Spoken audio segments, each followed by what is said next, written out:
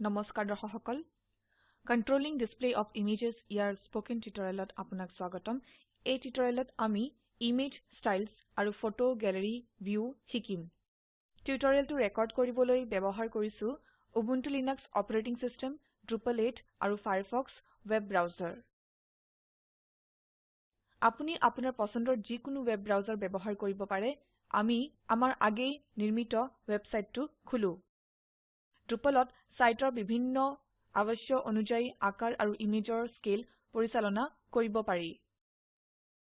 ড্ৰুপলে মূল ইমেজ লয় আৰু আমাৰ ইচ্ছামতে আকাৰ আৰু স্কেলত সলাই এইটোৱে ফাইলৰ এই সংস্কৰণ সংৰক্ষণ কৰে। কনফিগুৰেশ্যনত টিপক। আমি দুটা ইমেজ ষ্টাইল বনাও। তলত স্ক্ৰোল কৰি মিডিয়া টেবত যাওক। ইয়াত ইমেজ ষ্টাইলছ দেখো। এইটোত টিপক। টেবল ইয়াৰ বাবে ইমেজ ষ্টাইল বনাও যাৰ সেটআপ আছে। লগতে পৰবৰ্তী ভিউৰ বাবে যি বনোৱা হব সেয়া হল লোগৰ গ্ৰিড এড ইমেজ ষ্টাইলছ ইয়াত টিপক।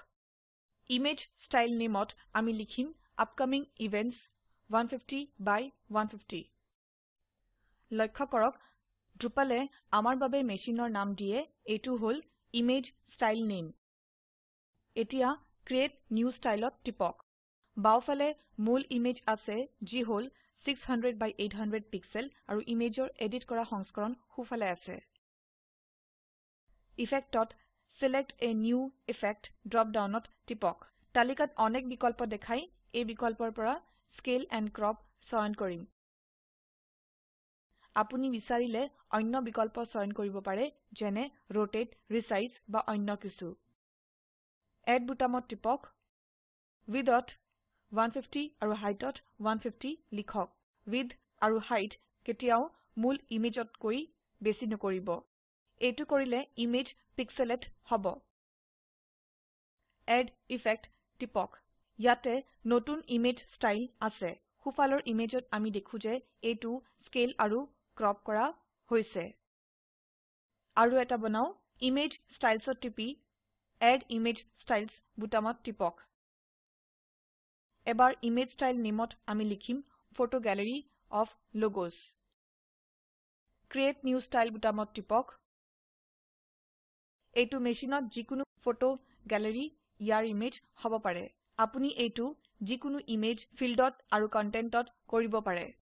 আকৌ এবাৰ ছিলেক্ট a নিউ ইফেক্টত টিপি স্কেল এণ্ড ক্ৰপ বিকল্পত টিপক। এড বুটামত টিপক উইডথ ইয়াত 300 আৰু হাইট ইয়াত 300 লিখক।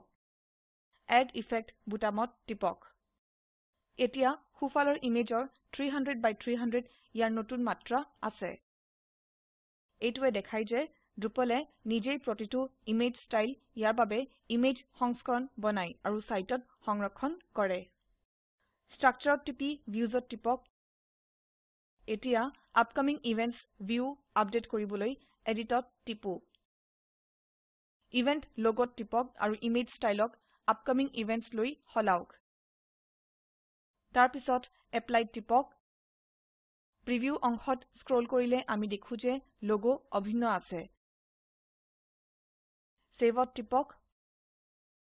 বেক টো সাইটত টিপক এইটো আমাৰ ওয়েবসাইটৰ ভিউ। ইমেজ ষ্টাইলছ এইগ কৰে। এতিয়া সকলো ইভেন্টৰ বাবে গ্ৰিড লেআউট হিসাবে নতুন ভিউ বনাও। এইটো কৰিবলৈ ষ্ট্ৰাকচাৰ্ছ তাৰপিছত ভিউজ আৰু এড নিউ viewত টিপক। ইয়াৰ নাম ফটো গ্যালাৰি দিও। ভিউ সেটিংক কণ্টেণ্ট অফ টাইপ ইভেণ্টছ বুলি সেট কৰক। এই বিশেষ ভিউক কোনো ইভেন্টৰ বাবে ইমেজৰ গ্যালাৰি বা ফটো অফ the ডে মানে এই দিনৰ ফটো হিসাবে ব্যবহৃত হব পাৰে। ক্ৰিয়েট a pageত টিপক তলত স্ক্ৰোল কৰি গ্ৰিড অফ ফিল্ডছ চয়ন কৰক। আমি ড্ৰুপালত ড্ৰপ ডাউনত প্ৰদত্ত অন্য বিকল্পও চয়ন কৰিব পাৰো। আইটেমছ ত ডিছপ্লে ফিল্ডত 9 চয়ন কৰক কাৰণ এইটো 3 বাই 3 গ্ৰিড দিয়ে। Create a menu link check কৰক। মেনু ড্ৰপ ডাউনত মেইন নেভিগেশ্যন চয়ন কৰক। চেভ এণ্ড এডিট টিপক। পাঁচটা শৰ্ত দি প্ৰশিক্ষন কৰো। ডিসপ্লে হল পেজ ফৰমেট হল গ্ৰিড। টাইটেল নামত একমাত্ৰ ফিল্ড আছে আৰু শেষলৈ ফিল্টাৰ আৰু সৰ্ট ক্ৰাইটেৰিয়া। এতিয়া এইবোৰ এইভাবে এৰি দিও। তলত স্ক্ৰোল কৰক। ইয়াত 4টা কলামছ আৰু 9টা ইভেন্টছ দেখো। কলমৰ সংখ্যা সলাবলৈ ফৰমেটত সেটিংস বিকল্পত টিপক। তাৰপিছত কলমৰ সংখ্যা 3ত সলাবলৈ এপ্লাইত টিপক। এইটো 3 বাই 3 গ্ৰিড দিয়ে। ফিল্ডছত এডত টিপক।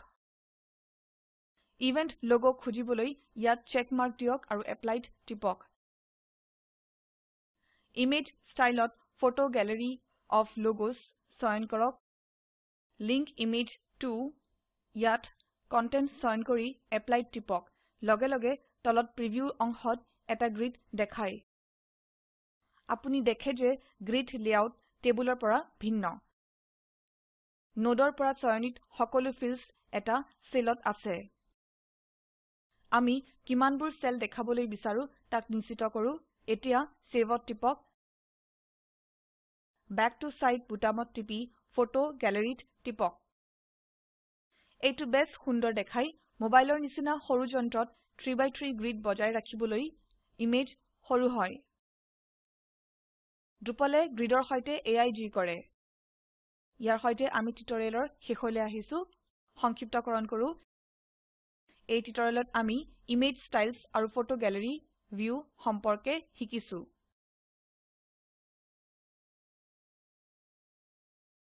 এই ভিডিঅটো একোয়া আৰু অচ ট্ৰেইনিঙৰ পৰা অভিযোজিত আৰু স্পোকেন টিউটৰিয়েল প্ৰকল্প আইআইটি বম্বেৰ দ্বাৰা সংশোধিত।